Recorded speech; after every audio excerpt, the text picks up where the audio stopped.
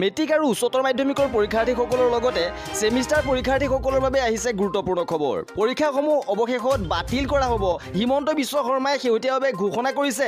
কিছু সময়ৰ পূৰ্বে হিমন্ত বিশ্ব শৰ্মাই ক'ভিড নাইণ্টিন পৰিস্থিতিৰ সম্পৰ্কে সাংবাদিকৰ সোধা প্ৰশ্নৰ উত্তৰত কৈছে যে পৰিস্থিতি অতি ভয়ানক আৰু পৰিস্থিতিৰ পৰিপ্ৰেক্ষিতত বাতিল কৰা হ'ব মেট্ৰিক উচ্চতৰ মাধ্যমিকৰ লগতে ছেমিষ্টাৰ এক্সাম। ইয়াৰ সবিশেষ এই ভিডিঅ'টোৰ মাধ্যমেৰে উপস্থাপন কৰা হৈছে।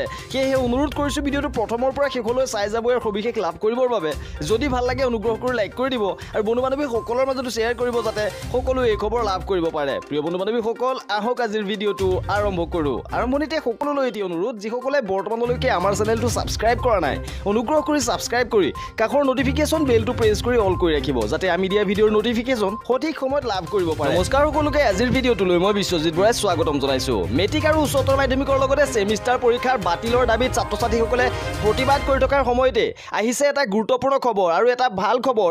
হিমন্ত বিশ্ব শৰ্মাই ক'ভিড নাইণ্টিন পৰিস্থিতিৰ পৰিপ্ৰেক্ষিতত পৰীক্ষাসমূহ স্থগিত অথবা বাতিল কৰা হ'ব বুলি সংবাদ মাধ্যমৰ আগত স্পষ্টভাৱে প্ৰকাশ কৰিছে। আমি পোনপটীয়াকৈ আপোনালোকক তেখেতৰ ভাষ্য শুনাব বিচাৰিছোঁ।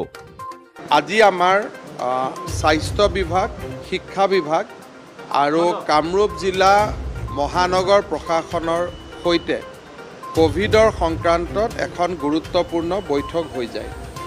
এই বৈঠকত আমি কেইবাটাও সিদ্ধান্ত লৈছোঁ। সেইটো নতুন চৰকাৰে সিদ্ধান্ত ল'ব। কিন্তু অভিয়াছলি গুৱাহাটীত যদি স্কুল কলেজ বন্ধই হৈ যায় তেতিয়া মেট্ৰিক হায়াৰ ছেকেণ্ডেৰী ক'ৰ পৰা হ'ব? হ'বতো নোৱাৰে। গতিকে যদি পৰিৱেশটো দুই তাৰিখলৈকে ইম্প্ৰুভ নহয় তেতিয়ালৈকে মেট্ৰিক হায়াৰ ছেকেণ্ডেৰী আমি বাতিল কৰিব লাগিব।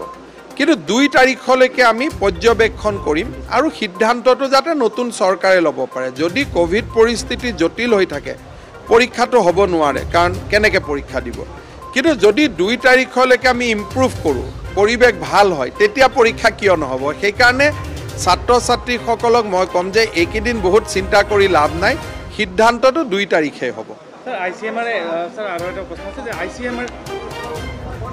কটন ইউনিভাৰ্চিটিটো যদি এক হাজাৰ ক্ৰছ কৰে কটন ইউনিভাৰ্চিটিটোতো বন্ধ হৈ যাব পৰীক্ষা ক'ৰ পৰা হ'ব?